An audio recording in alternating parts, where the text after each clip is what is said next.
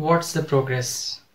Yeah we are really going to discuss about what's the progress about our FaceMash and how is it really going on. Say uh, since I have really posted the last video right around 6th December and and today is right now 3 December so I almost it's going to be really around one month. So and I haven't really posted much of the videos except from the few videos like JavaScript document DB versus DynamoDB and one thing was a video was of the AWS Hell so and to and I really today want to really discuss about uh, one thing that why my uh, frequency was slightly kind of getting reduced and especially what are my really other plans uh, as well to really just kind of get through it and what were the challenges that are really kind of tackling right now and and even kind of getting through it right uh, even right now as well. So after making this video one thing i really felt uh, i was learning aws so and i really decided to go with it uh, serverless architecture.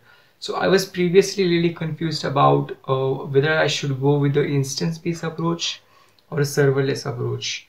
So after really just kind of uh, analyzing the pros and cons of it so i really don't know like how many people uh, kind of will join uh, into this server or kind of really use this uh, services that i'm really going to provide uh, through this FaceMash so it really makes sense for me to really just kind of uh, host my services on the aws lambda as well and and to really complement the database as well so obviously we are when when, when we are uh, selecting the serverless architecture on the AWS Lambda as well.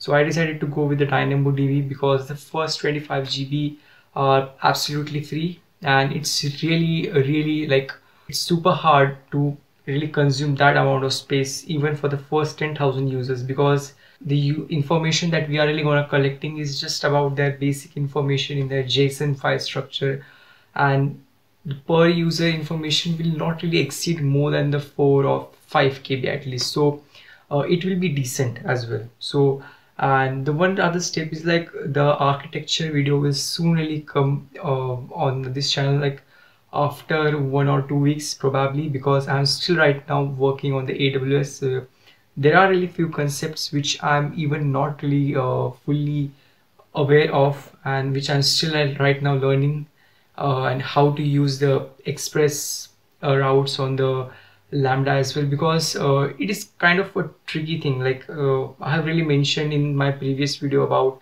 in aws hell like how the aws is just like complicated as hell. So in, i'm just really kind of uh, learning the ci cd techniques uh, and how can we really just tackle down the problem? How can we just really uh, go through it and make our structure easy and also there is a lot of challenge uh, regarding it so and also really like I really need to brush up my MERN stack skills. Like you know it's been so long time that I have not coded anything in the React as well. So I need to just really kind of brush my mind uh, so you know any crash course or any refresher of uh, React will be much more enough for me. And the thing is actually like you know the most hardest part is to like work in the deployment and to work with the backend side of structure. The current problem is as i really mentioned is like to deal with the aws to deal with the what the service is providing you know it's hell lot of thing complicated. I even didn't imagine. So and i even didn't really struggle that much even for the javascript as well you know?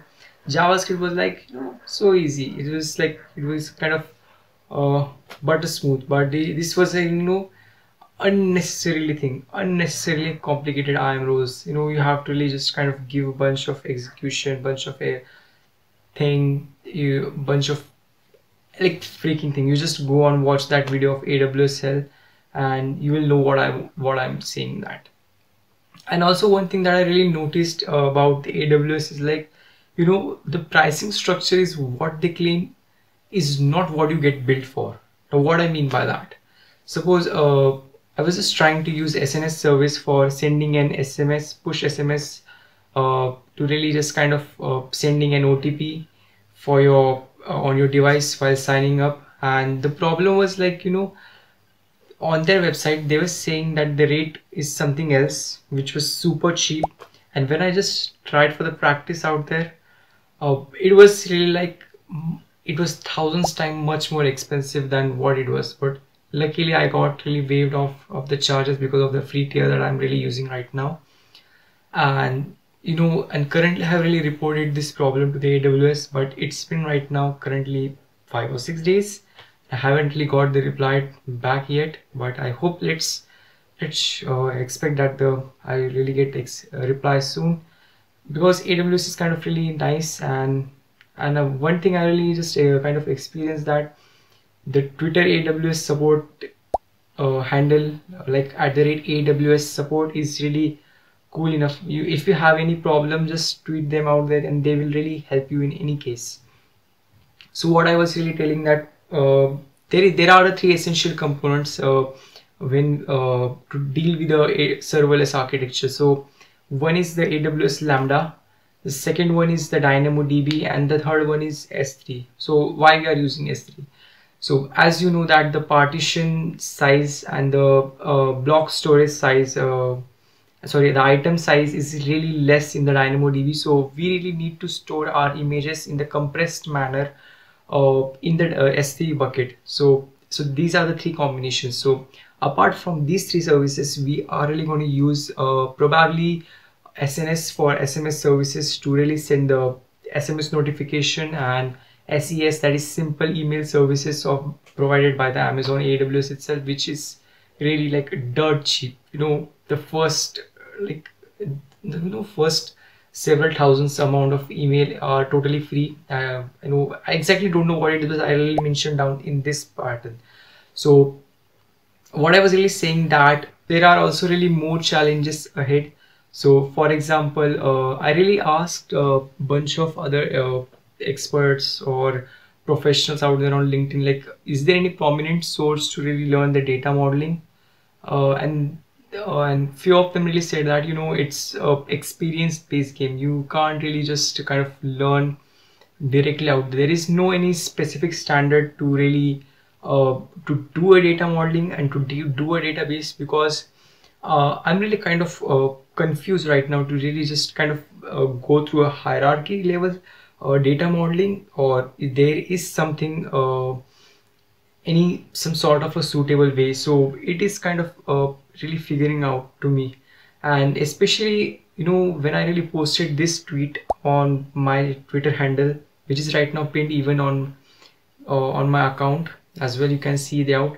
I really mentioned that you know i am really expecting it to cover in just three or four months but it is kind of i'm really not really sure whether i would really complete it on time or not because uh, there are really complicated things as well. So for example to really figure out the core essence and the core structure of it. And also to deal with the payment integration system because that will really ensure to really uh, deliver the premium services to the our other students out there. And that would really help me to generate some amount of revenue and that I can really sustain all the services that are going on the back end as well but as really time uh, will get passed through it you know we I just want to really kind of uh, go step by step manner to really debunk one problem and to get through it over it you know. For the past one month I have been just really uh, been learning the AWS ecosystem and being getting well versed with it you know. And the probab the most prominent reason of doing so is like uh, I want to get, do I want to do my startup and to really deploy my apps using AWS so I'm kind of really ready to work as hard as tough as I can. So uh, in the later stage, that will be much more easier for me to work and and at that later stage, I don't really uh, need to worry about hey, what should I really learn? What should I really do? So it will be like instantaneous process.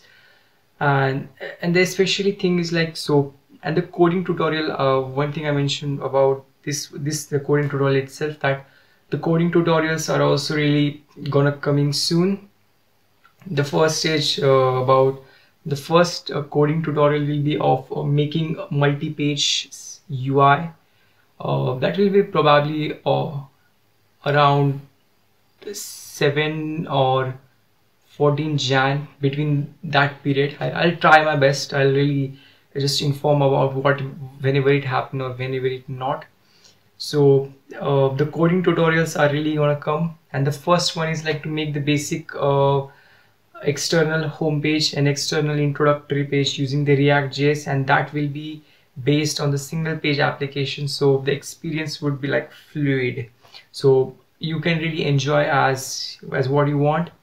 And the next thing about what I really want to just kind of show is like you know uh, you might have seen the iceberg example. So like subconscious mind and this uh, like unconscious and the subconscious mind. And you might have seen the example of that iceberg depicting around something like this part of portion is like conscious mind and this part of thing is like subconscious mind. Similarly in that case if i really want to just tell about how hard it is to really make any uh, application is it is just like uh, you know the the front part what you see on every website whether it's google whether it's facebook whether it's anything anything what you really imagine. That is just a tiny fraction part. And the surface that you really and the thin layer of water that you see uh, that is just an API and the whole below bunch of surface and the whole bunch of really the depth of it is the backend structure. And the best thing that I really find uh, the uh, the picture that depicting is this one. I have really uh, seen this example from the dev.to site and I have really just uh, kind of got in my mind that I'll really show you show up to you guys. And so this was it. I really want to tell that and bunch of other cool videos are really also gonna come. And I'll really make sure to really uh, frequently update my videos out there. And if I really have to do anything uh, any cool stuff if you have any comments question queries uh, just try down just write it down in the comment below and I'll be happy to get back to you. And I'll really make sure to really uh, be in my own frequent that I really want to post uh, two videos every uh, week as well. So I'll really try my best and really uh, be really frequent. So and I'm really trying to really cover this AWS video really fast as possible. So till then stay connected have a good day and I'll see you next time